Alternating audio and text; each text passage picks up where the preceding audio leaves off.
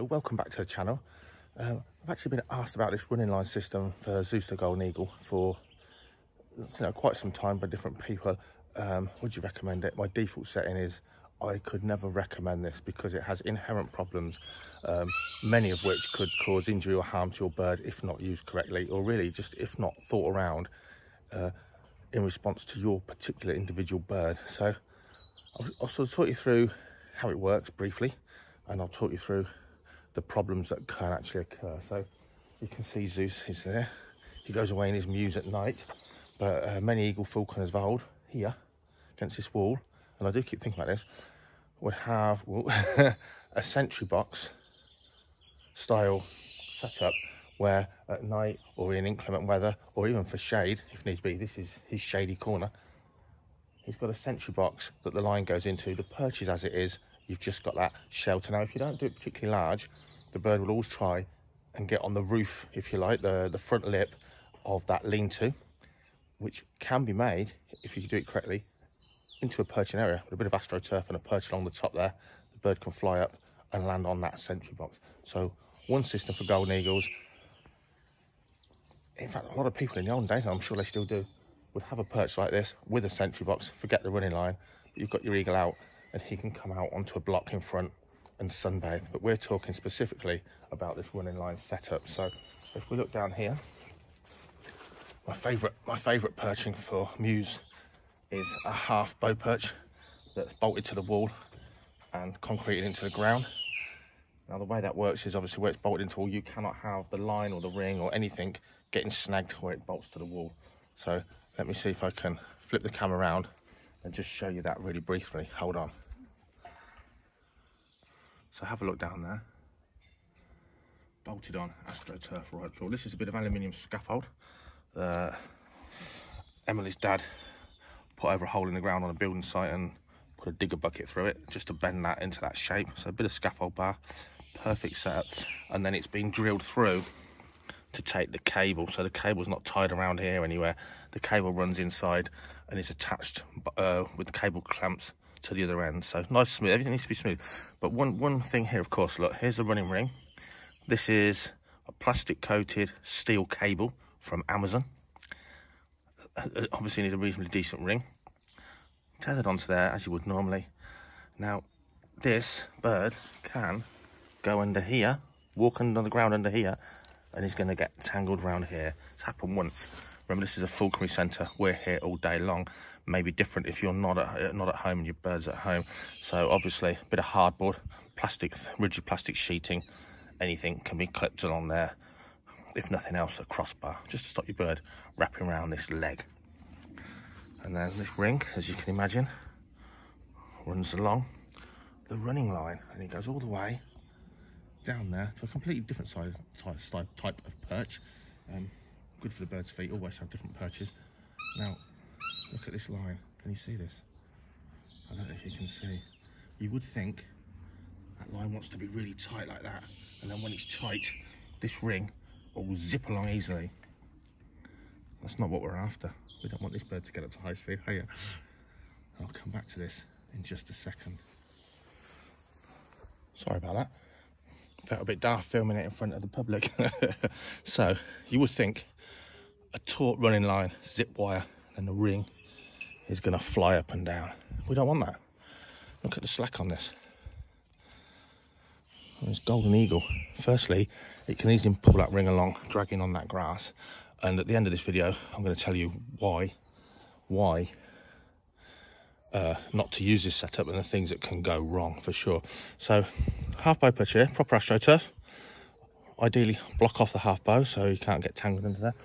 And then we've got this steel, plastic coated steel cable that runs down here. You can be quiet. And obviously a bar we can move around so it doesn't kill the grass entirely. And then Nice bit of wood, works better with a bark on, but obviously it doesn't last forever. This is postcreted into the ground, so it's absolutely rock solid. There's a sort of size of it. And little chainsaw, a little carving chainsaw poked all the way through. If you've got an auger bit or a big drill bit. uh, you can battle away and get that through there. Low down, don't want it high up, low down near the ground, remember. And then this is made off here with a big ring, as I think it was what I had, a big ring, literally bolted on us, a ring on a bolt, just to give it an anchor point. And then you've got these cable clips enable you to put the tension and fix the cable together and back through there. So they can't fit through there. So you've got double, sort of double security and a ring bolted on down there. Down low, nothing can get around there. So another tangle point, of course, if the bird's sitting on here, he can land on the floor and he can get around here, but he can't get all the way around. So he's not going to get tangled. He's just going to get cheesed off and then realise it's got to go back this way. Not a problem. Okay, so simple design.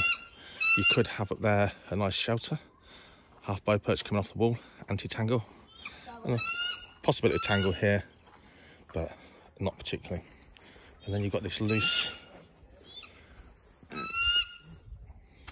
this loose cable. So more people coming. I feel a plonker, so I'll resume this in a few minutes. I'm back. Now, obvious problem with this video is I haven't bothered to hood Wurzel, who is saying, Dad, I want to fly because I want my tea. Background noise. So, obvious problems. Number one, massive, massive problem is a yearling bird, first year bird, first season bird. It often isn't as bomb proof as it's going to get. And whether it's a Harris's hawk, an eagle, golden eagle, especially seemingly Bonelli's eagles, they have not fully calcified their legs. Their muscles and legs haven't aren't where they could be uh, as they get fitter and older.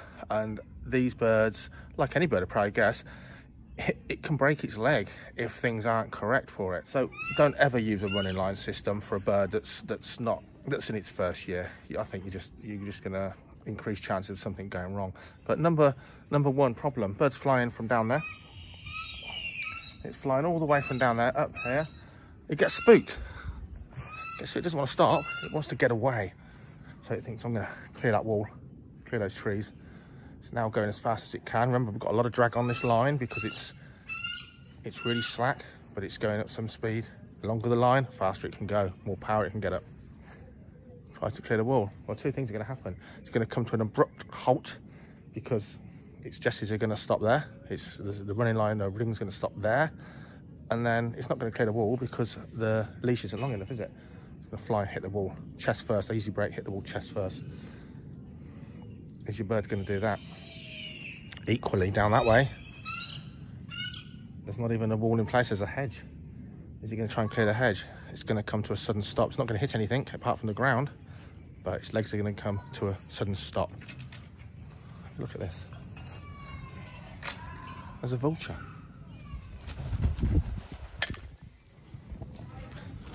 So we negate a lot of that problem of sudden stoppages because this is so slack.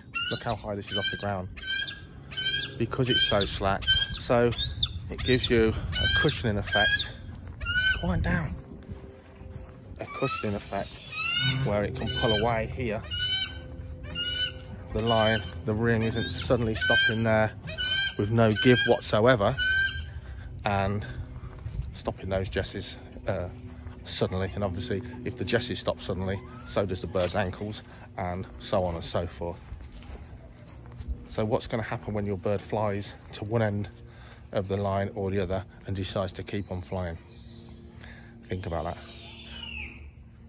having a backstop really does work especially because you've got all that up there the bird usually doesn't think it's going to clear that but it's all possibilities possibility bird trying to fly up there snapping suddenly stopping down there and equally that end. So having this line really slack gives a lot of give.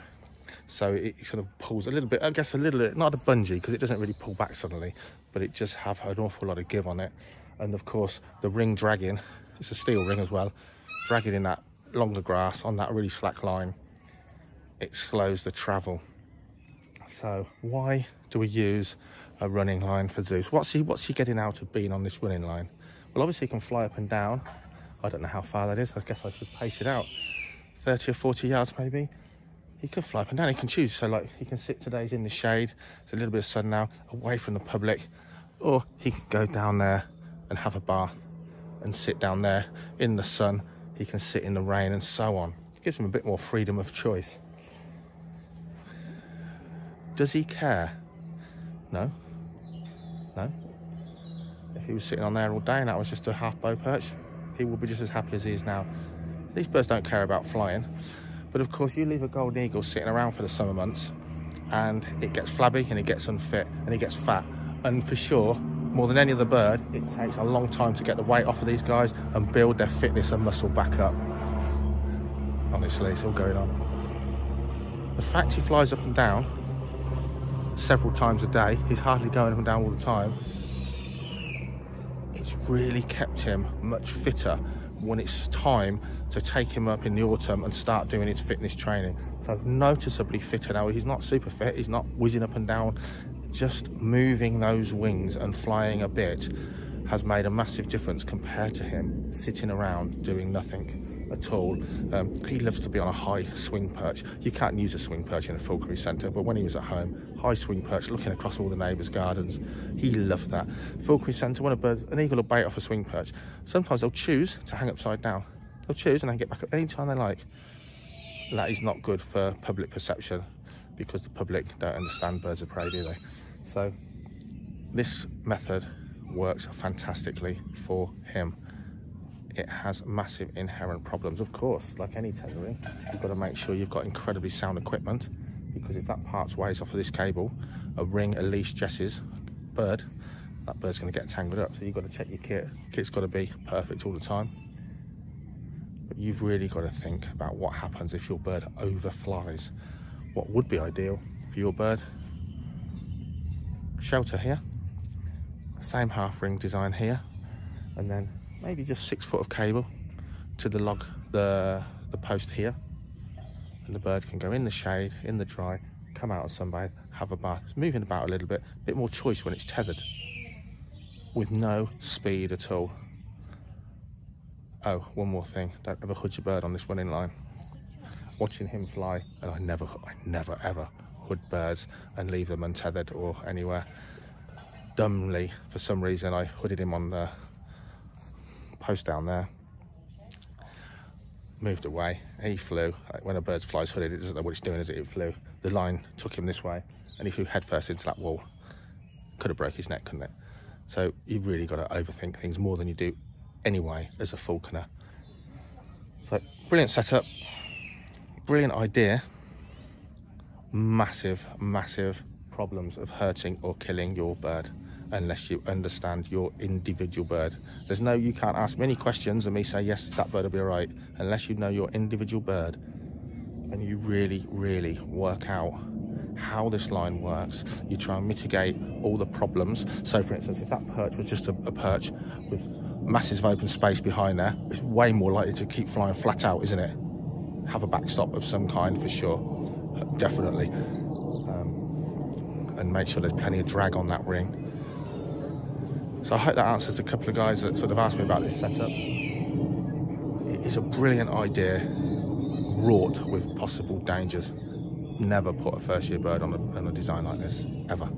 That is number one thing I think. Hope you enjoyed the video. Like and subscribe, it massively helps. Everybody's looking at me like a lemon again. So I'm gonna get off today. Loads to do. Comment below if you've got any sort of videos you want to mention on and they'll be on the list and I'll gradually get round to them. Thanks a lot. Please like and subscribe. I don't want to beg, but it does help.